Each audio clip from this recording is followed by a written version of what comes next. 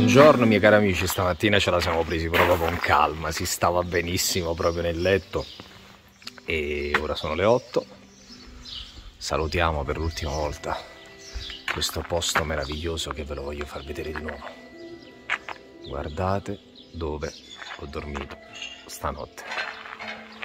Una cosa davvero spettacolare. Vediamo di nuovo il mio posticino, che saluto. Ecco qua. Salutiamo anche Ovidio che è tornato. Ovidio, gracias por todos. Abbiamo anche Ezio e Frederick che si rilasseranno. Io vado. Gracias por todos. Pero vete más tranquilo. Sì, sì, muy tranquillo. Muy tranquillo, muy tranquillo. Gracias, gracias. Ciao ragazzi. Sì.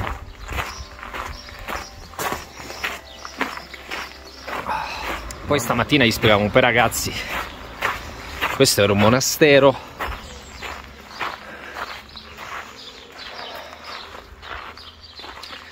Dei monaci di Sant'Antonio.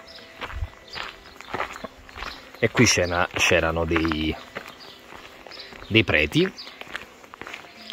che curavano eh, la malattia che si chiamava il fuoco di Sant'Antonio, che era dovuta a una determinata alimentazione di un particolare tipo di grano. Poi comunque ho scritto tutto nel mio diario, tutta la storia. E allora che succedeva? Loro qui ospitavano tutte queste persone malate e, e molte volte per curarli erano anche costretti ad amputare gambe e braccia.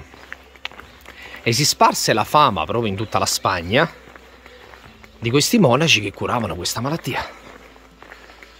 E poi a distanza di anni molte persone dicono che questo monastero, in questo monastero ci sono degli spiriti. E anche per questo motivo che molti non, non si fermano qui a pernottare. Io vi posso dire che ho dormito una, una favola. Spiriti non ho sentiti, durante la notte sono anche andato in bagno e c'era un cielo stellato meraviglioso, una cosa pazzesca. E ora, prossima direzione, Castro Jerez, a 4 km.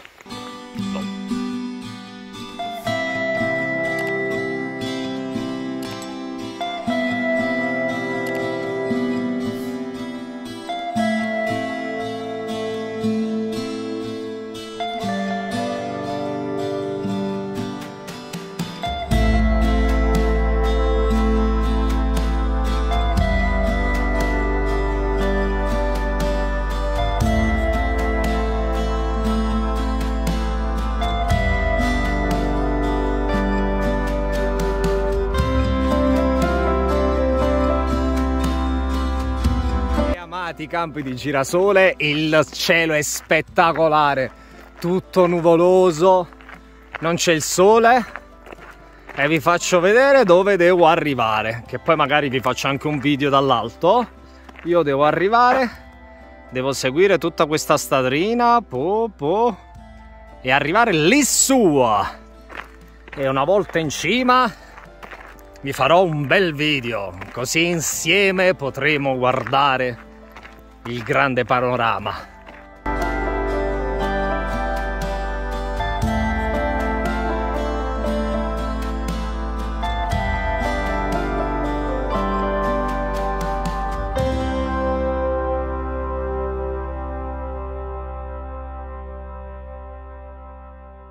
Sole sta facendo capolino e ora vi do la percezione. L'ho fatta anche in, in altri video ma qui potete vedere chiaramente di cosa siano le mesetas. Ecco qui. Distese immense dove non c'è un albero e non c'è nulla. Ecco perché molti pellegrini preferiscono evitarle, preferiscono superarle con dei taxi condivisi o dei bus. Ore e ore da soli, ore e ore senza nulla, senza incontrare un paese.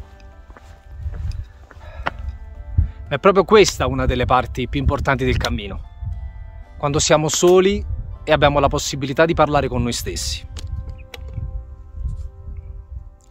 Quando siamo soli e possiamo un po' fare i conti, non possiamo più nasconderci. Quando non c'è la tv, quando non c'è la radio, quando non ci sono i social. Siamo solo noi. E, e dobbiamo affrontare la nostra vita. Dobbiamo tirare un po' delle somme. Se la vita che stiamo conducendo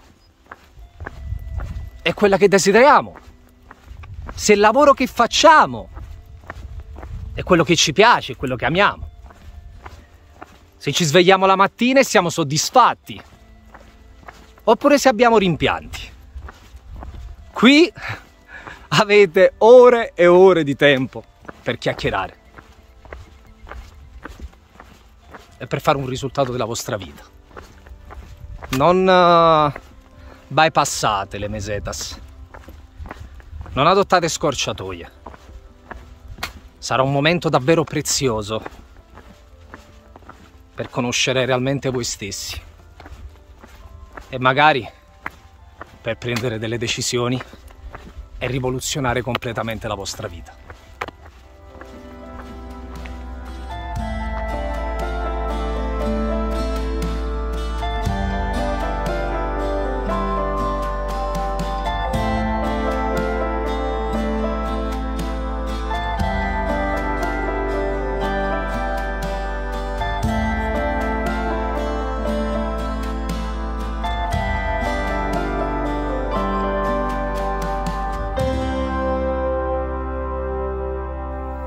Ragazzi abbiamo percorso quasi 10 km, guardate che sole, guardate la completa distesa delle mesetas. E abbiamo trovato questo angoletto di paradiso e di ombra. E io subito ne ho approfittato. E ricordatevi sempre il consiglio di Cesare. Tolto le scarpe calzini. E ora metto i piedi nell'acqua fredda. E io vi posso dire ah, che sono ormai 15 giorni che faccio il cammino e io non ho nessuna vescica. Siamo quasi arrivati a Puente Fitero. E ora vi mostro un altro posto molto caratteristico del cammino anche qui c'è un'ospitalità molto bella Buongiorno. Faccio un video, faccio un video che poi vi saluto. Buongiorno a tutti. Guardate che bello della confraternita di San Jacopo, che è la confraternita che mi ha rilasciato la credenziale, che in Italia è l'unico ente che può rilasciare la credenziale. Posso? Prego. Guardate qui che bello. L'altare. Bello. Davvero, davvero bello.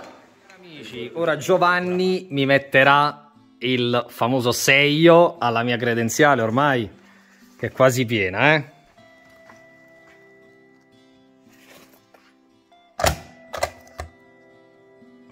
Guardate qui. Che bella, che bella. Grazie Giovanni. Giovanni è un volontario dalla Calabria, giusto? Giusto. E fai qui due settimane. Guarda che bella. Questa qui.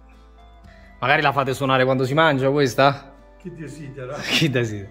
Bene, grazie Giovanni e io grazie continuo il mio cammino.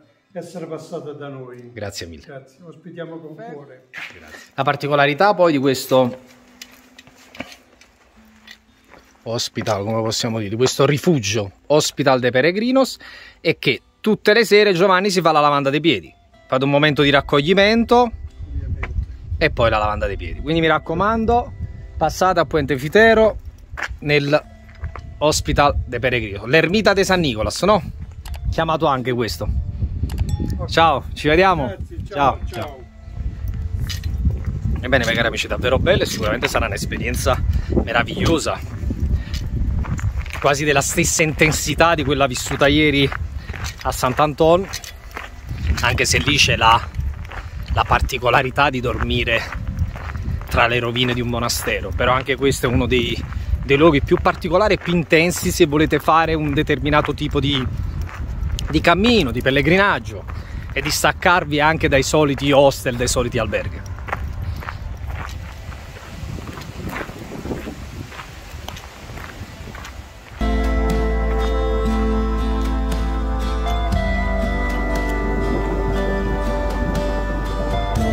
Essere arrivati a Fromista. Qui c'è un'area per poter riposare c'è un bel fiume che l'attraversa. Penso di sì. Penso che si attraversi. Guardate qui ragazzi che spettacolo.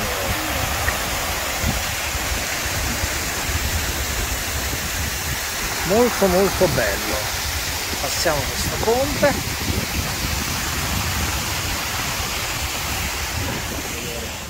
Eh sì, dovrebbe essere quella. Dovrebbe essere quella Fromista, sì.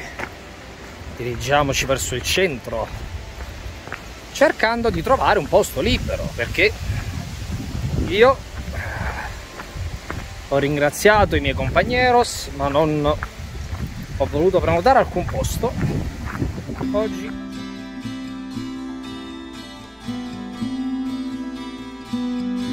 Cari ragazzi, nonostante sia stanchissimo, voglio portarvi a fare un giro nella ridente Fromista.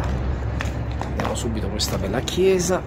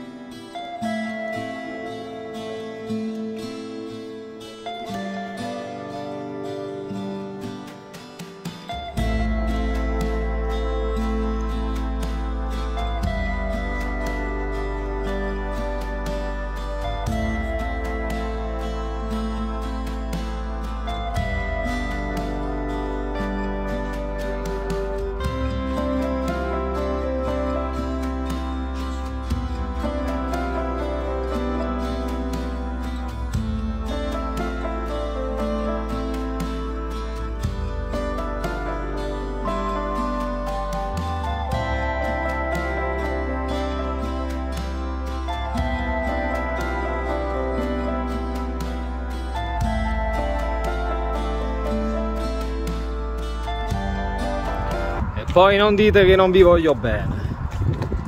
Con la schiena a pezzi oggi abbiamo fatto più di 30 km, eh? Però poi la chiesa chiudeva a breve e ci tenevo a farvela vedere, anche perché non è che tutti i giorni sono di passaggio a Fromista. C'è un sole spettacolare, sono quasi le 8. Guardate qui.